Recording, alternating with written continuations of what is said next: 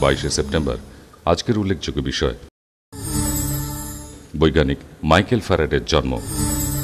প্রবন্ধিক সৌমেন্দ্রনাথ ঠাকুরের মৃত্যু। লেখক শরদিন্দু বন্দ্যোপাধ্যায়ের মৃত্যু। শরদিন্দু বন্দ্যোপাধ্যায় জন্মগ্রহণ করেন তিরিশে মার্চ, আঠারোশো নিরানব্বই খ্রিস্টাব্দে। মৃত্যু বাইশে সেপ্টেম্বর, উনিশশো সত্তর খ্রিস্টাব্দে। বিহারে জন্ম ছিল শরদিন্দুর। আদি নিবাস কলকাতার বরানগরে। মুঙ্গের জেলা থেকে উনিশশো পনেরো খ্রিস্টাব্দে ম্যাট্রিক পাশ করে কলকাতায় বিদ্যাসাগর কলেজে ভর্তি হন। এখানে শিশির ভাদুরীর কাছে ইংরেজি পড়েন।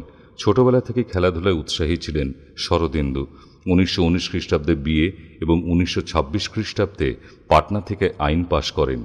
উনিশশো উনত্রিশ খ্রিস্টাব্দে ওকালতি ছেড়ে সাহিত্য চর্চায় মনোনিবেশ করেন। উনিশশো আটত্রিশ খ্রিস্টাব্দে বোম্বাই থেকে হিমাংশু রায়ের আহ্বানে সিনারিও লেখার কাজে সেখানে যান।